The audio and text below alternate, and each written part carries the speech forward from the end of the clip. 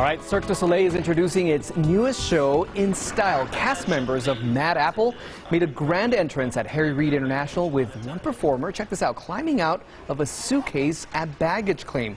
Mad Apple, inspired by New York City, is the sixth Cirque show on the strip. Now, the grand opening is on May 26th at New York, New York, and tickets, of course, are on sale right now.